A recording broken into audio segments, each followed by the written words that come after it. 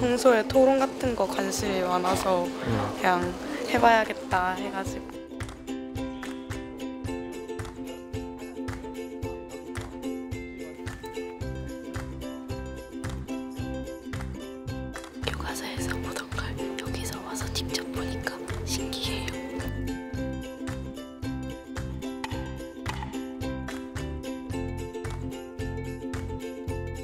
어, 실제 정치인들이 어떻게 일하시는지 알게 되고 이 공간이 어떻게 생겼는지 알게 되어서 재밌었습니다. 임시의 제1차 교육위원회를 개의하겠습니다.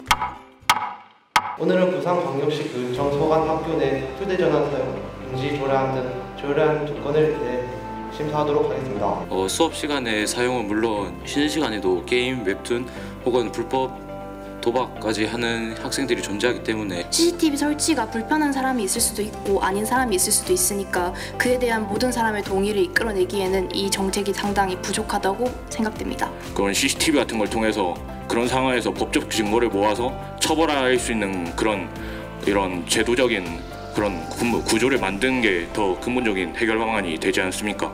저는 원- 기본적이고 원천적으로 학교 폭력을 근절하기 위해서는 학생들의 인식 변화가 선행적으로 이루어져야 한다고 생각하는데 그리고 학교 폭력이 교실 안에서만 이루어지는 것도 아니지 않- 않겠습니까?